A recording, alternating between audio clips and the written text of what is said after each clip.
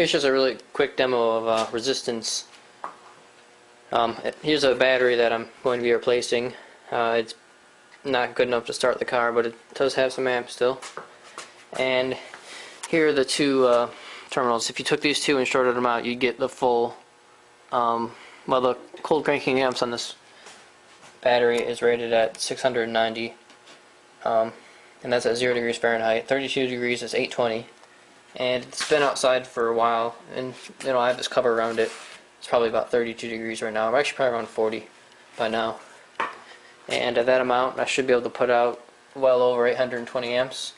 Not too many more but at this point in the battery's life I can probably only put out about maybe 500 amps max. Maybe less. Um, it went dead on over two nights. So it's already bad but just as a little demo if I were to short these two out through this thick wire, you'd get almost a full current of the battery. I'll try that actually real quickly. The battery is up there out of the way. It's not going to ignite any gases. It's been quite a while since I last charged it. Um, it's a dead battery, or not dead, but it's a bad battery, so it's really not doing much anymore. So the risk of sparks igniting gases are very low. It's, it's not any risk at all. I've seen somebody um, try to jump a battery like this uh, with posts on the top and they took a jumper and put the negative on the positive and the positive on the negative. And that's of course two batteries in series short circuit which means you can get 20, that's 24 volts you're shorting out at whatever the max amperage of the battery the one of the two batteries is which I think was probably about 400 amps on the jumper. And um, yeah there were some serious sparks. I mean the whole thing was you couldn't even see for like a split second all there were was sparks everywhere in through the entire battery and it didn't blow up. So, and this one has the side post or the side vents, and there's really no danger in that. Plus, I have it way down here, so there's there's no risk. Plus, I am wearing safety glasses, so I'm just going to show you the resistant or the very low resistance and the nice thick cable. All right, so really quickly, I'll show you the amount of sparks I get. I'm out of the way. So, there's some serious sparks. Some high current there. Now that's thick cable. This is what, 6 gauge? No, 4 gauge wire. You can see right there, 4 gauge. Um, now that's almost no resistance. You can see what it did to the cable. It was pretty rough on the cable. Um, that was quite a few amps that went through that. And it could, you know, make pretty big sparks. Now if I take this wire here, it's, um, I don't know, maybe 8 feet long. And then at the end, I have it twisted which if it was 8, that'd make it 16 feet of wire. And I'll short that up. Now that's, uh, let's see, this is probably about maybe 20 gauge wire.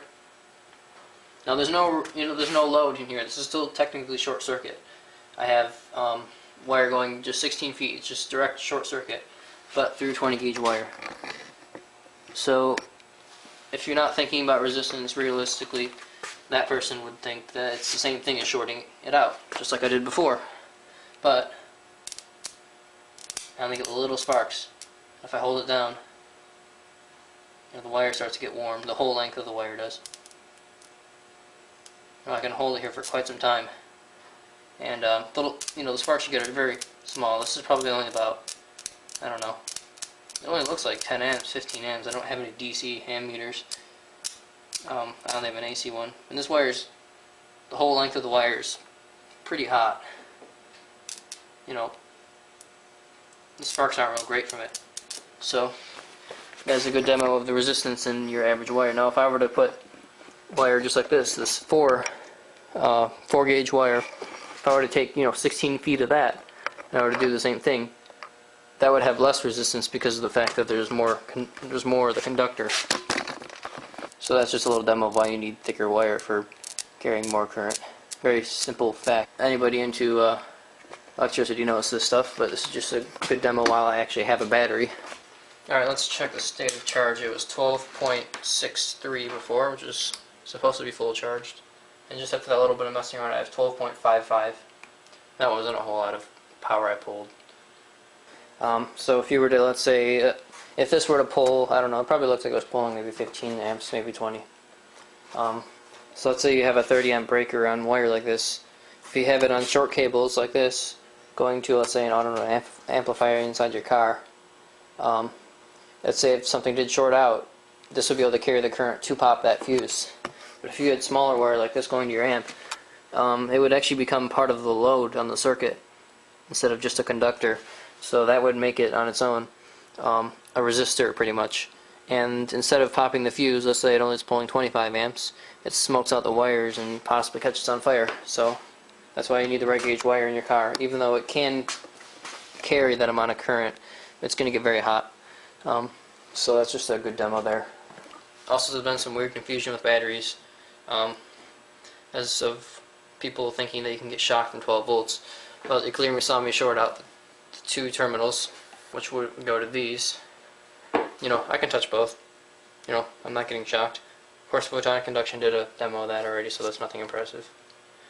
But you know, no shocks. You never get shocked from a battery. The only way you can ever think you get shocked is if you have a, let's say you're working with a tool to, uh, let's say remove the posts, taking off a battery like this, and this isn't quite long enough, but let's say it was, you hit it and you, you short it out, and then you're going to make those sparks that I showed earlier.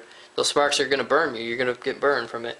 Um, people are probably confusing that with actual getting shocked. The current's not going through your body. You're just getting burned by the molten metal that's coming off of the spark.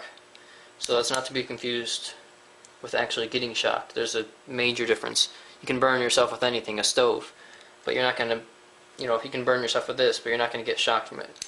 Some people say that you can, you can manage to get shocked from battery. I don't know how you can do it, but apparently people say they can do it. I don't know if I believe them, but you know, post a comment if I'm wrong. Alright, so that's it. Just a really short video. See you in the next one.